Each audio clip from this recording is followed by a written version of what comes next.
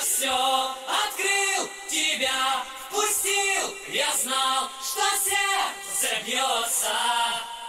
Великолепно! Это просто шедевр. Всем привет, дорогие друзья, и в сегодняшнем видеоролике я покажу вам, как записать хор в одиночку. Поехали! В пример я покажу вам свой проект, мой любимый проект, один из немногих проектов, над которыми я очень сильно постарался, в который я прям вложил всю свою душу. Это мой кавер на трек группы Нормандии Believe. Здесь вы можете услышать просто отлично смикшированный, прям продуманный, качественный хор. Как я этого добился? Все очень просто. Самое главное, что нужно понять, что эффект хора, эффект толпы не делается при помощи каких-то сторонних плагинов.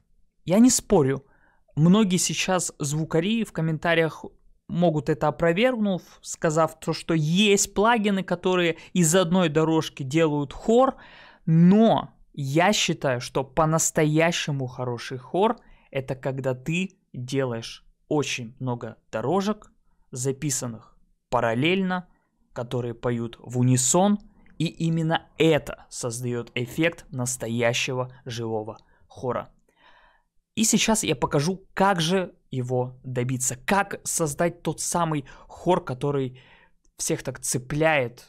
Меня он очень тоже цепляет, я очень люблю хор в различных треках, особенно вот в этом треке этот хор меня прям зацепил, и для меня было на самом деле очень сложно впервые сделать такой эффект, потому что до записи этого трека я вообще даже понятия не имел, как создать такой эффект.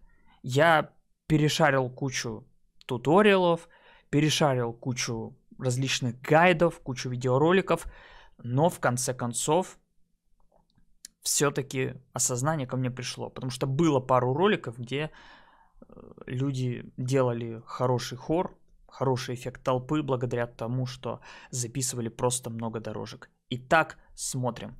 А, вот, собственно говоря, дорожки. Они подписаны хор, копия хора. Почему копия? Потому что у всех дорожек одинаковая обработка. Давайте залезем. Все, вы можете обратить внимание, что здесь нету ничего лишнего. Здесь просто идет двойная компрессия и эквалайзер. Эквалайзер тоже никакой не навороченный, Pro Q2, срезанные немножко нижние частоты, срезан вот этот вот бубнеж мой, который постоянно у меня лезет на 199 частоте, и также срезаны высокие частоты и подняты верха мои любимые 6000 для придания воздуха, для придания такой, знаете, легкости и светлости голосу, более чтобы голос стал таким, знаете, читаемым и мягко приятным. Я, ну, вот так это называю, потому что когда поднимаешь эти высокие частоты, он прям становится таким своего рода воздушным. Так вот, дальше у нас идет KLL Vocal Stereo, мой любимый плагин. Здесь у меня компрессия э, в максимальной, в максимальной настройке, RUF, но не очень сильная, чуть-чуть добавлены низкие частоты в слабеньком режиме, и также есть pitch, то есть панорама по ушам. Самое важное, как можно это сделать, как можно добиться такого эффекта хора, это то, что нужно заставить все голоса звучать так, как будто вы находитесь в зале. То есть, что я под этим подразумеваю? Я подразумеваю под этим то, что все голоса должны звучать как будто в левом ухе, в правом и по центру. То есть у вас должно создаваться ощущение, что перед вами стоит толпа. И что эта толпа находится как слева, так и справа, так и по центру. Так вот, именно благодаря э, вот этому эффекту, благодаря вот этому питчу, который я задрал на самый верх, вот в этом режиме White, я этого и добился. Я не спорю, можно добиться просто красивой панорамы, то есть вот э, в этом режиме поводить влево-вправо. Но я решил использовать вот такой вот режим, потому что мне просто нравится а, сам характер звучания. Мне нравится, как звучит этот плагин, мне нравится, как он обрабатывает а, в этом режиме звук, его окраска, поэтому я всегда, если мне нужны какие-то бэки, потому что все-таки настройка вот в таком вот режиме, когда ты сам руками настраиваешь левый правый канал, она более тонкая. Вот. И из-за этого, когда ты записываешь кучу разных дорожек, все-таки э, человек не может быть прям идеальным, и все дорожки, они в любом случае будут спеты по-разному, поэтому это может создать такой, такое ощущение того, что у тебя в левом и в правом ухе эти дорожки звучат как-то по-разному. Просто банально из-за громкости, из-за какой-то динамики разной. А когда ты накидываешь вот этот плагин, да, то в принципе, как бы ты ни записал, но в этом режиме вся весь звук, вся картина звука, она приобретает какую-то общую окраску, и звук становится плюс-минус везде одинаковым и он сливается воедино, потому что идет одинаковая обработка, и получается хороший, сочный, приятный хор. Также не стоит забывать о том, что э, стоит отрегулировать громкость хора. То есть, смотрите, у меня какая здесь фишка. У меня здесь есть основная дорожка, на которой висит в конце замыкающий плагин. На этом плагине у меня также висит компрессия, но она не сильная, потому что хор все-таки не должен быть слишком сильно передавленным, он должен быть немного более таким, знаете, мягким, да, потому что все-таки нужно создать эффект того, что человек находится далеко, если мы будем увеличивать компрессию, то хор начнет приближаться. Но также не стоит забывать про реверберацию. Так вот здесь она играет прям очень важную роль. Обратите внимание, как я ее тут настроил. 4,5. Я считаю этого достаточно и, внимание, Здесь реверберация висит на одной дорожке. Вот на этой дорожке, первая дорожка, это основная дорожка, это первый дубль, под который я уже записывал все остальные дорожки. Здесь их раз, два, три, четыре, пять, шесть, семь, восемь. Восемь дорожек. Почему дальше нету вот этой дорожки, я вам объясню. Итак, смотрите. То есть у нас есть одна дорожка, на которой висит реверберация. Что это значит? Что эта дорожка, она создает эффект объема, она создает пространство, она создает ту самую комнату, сцену, называйте как хотите, из-за которой возникает эффект того, что здесь поет много людей. И учитывая то, что я пел это один, у меня в любом случае получилось создать эффект того, что я записывал это не один. Как будто я позвал еще э, вот семь человек с похожим голосом на мой, да, то есть просто позвал людей, у, у которых голос похож на мой, и заставил их пропеть вот эту фразу. И по факту, по факту, то есть э, как я этого добился, на самом деле все очень просто. Просто спел одинаково фразу, попытался ее максимально повторить, как она была записана изначально. Вот и все. В любом случае, как бы, как это происходило. То есть я прям брал и записал, спел, и вот как оно записалось, я это прям не переписывал, я вот так и оставил. То есть нужно, конечно, потренироваться перед этим, распеться и постараться записать максимально идентично вот этой первой дорожке, которая вот у нас называется хор.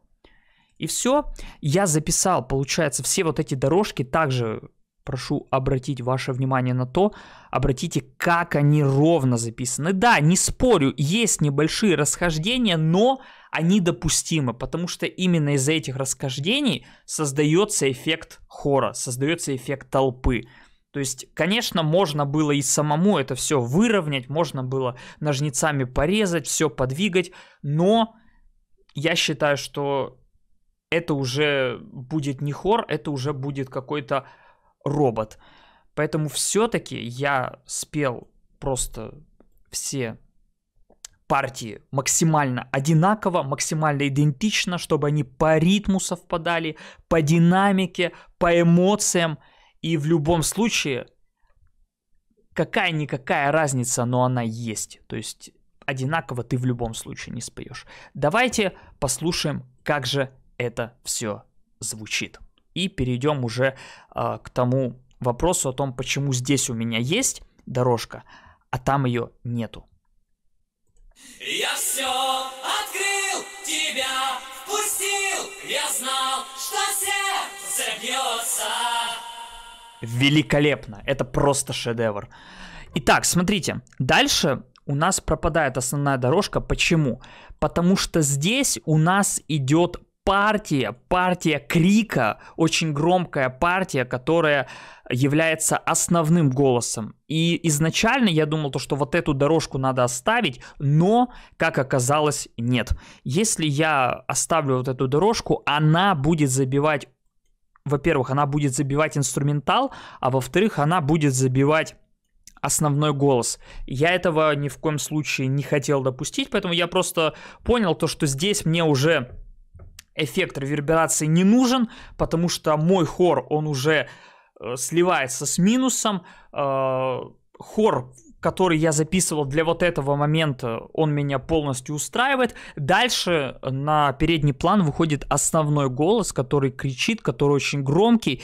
И чтобы его не забивать, я просто убрал вот эту основную дорожку, чтобы вот этой, получается, вот этим эффектом Э, толпы, да, вот этим эффектом комнаты, эффектом сцены, не забить ее, потому что, ну, опять же, если бы я его оставил, все бы превратилось в просто в кашу. Давайте послушаем, как это звучит, и вы поймете, почему я его убрал, потому что э, вместе они звучат очень гармонично, очень круто, и при этом э, не забивают друг друга. Самое главное при этом, чтобы хор оставался хором, но при этом не мешал нашему главному голосу. Давайте послушаем. Я также э, включу все эффекты. Вот. Э, могу даже вам их показать. То есть здесь вот точно такая же настройка эквалайзера, потому что все, э, проект один и тот же голоса должны звучать одинаково, идентично. Но здесь, конечно, компрессия, она выкручена, но не в самом мощном режиме, то есть такая средняя компрессия, но настройки у нее максимальные, да.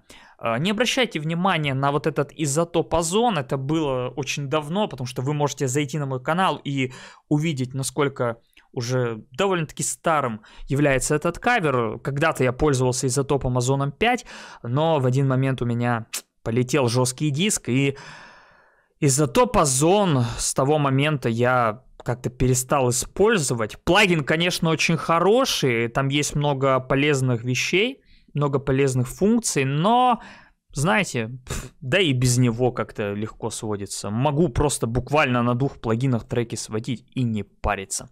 Давайте послушаем, как это звучит и как это выглядит. Я все, я был твой голос подсознания. Ну вот, то есть, собственно, эффект хора получен, ничто друг друга не забивает, никакой лишней каши нет. Все потому, что я просто убрал вот эту дорожку. Так что я надеюсь, э, я помог тем людям, которые пытаются записать хор, у кого не получается записать хор. Как видите, в этом ничего сложного нету. Нужно просто записать много дорожек. Ну вот в моем случае я всегда стараюсь где-то вот такое количество дорожек делать. 7-8 дорожек. Э, старайтесь, чтобы они у вас были, главное, синхронные. Главное, чтобы они по эмоциям совпадали, но не старайтесь слишком сильно их выравнивать, э, потому что если вы будете их выравнивать, это убьет живость, это превратит ваш голос просто в голос робота а это нам не надо. Все-таки, когда мы слушаем музыку, мы хотим насладиться пением живых людей, а не роботов. Хотя, конечно, есть исключения, да, когда это имеет смысл, там, автотюн накинуть или э, добавить какое-нибудь космическое звучание, не знаю, призвать Дарта Вейдера, вот, или еще кого-либо. Но в этом случае, как видите, я ничего не трогал, я просто спел все под основную дорожку и потом оставил все как есть. Вот, так что пользуйтесь, записывайте красивый хор. Вы должны понимать, что даже если вы пишете хор в одиночку, то создать эффект хора не составляет труда. Главное все сделать красиво, эмоционально, вложить душу и не бояться. Всего доброго. Если у вас есть какие-то вопросы, оставляйте в комментариях. Я на все комментарии отвечу, прочитаю. Если вы хотите еще что-нибудь интересное про хор или про запись вот этого трека, или про какие-то, может быть, фишки из этого момента, да, из вот этого трека узнать, то оставляйте в комментарии, запишу ролик, я рад буду вам помочь. Чем смогу, как говорится, помогу. Всего всем доброго, подписывайтесь на канал и до скорых встреч. Всем пока-пока.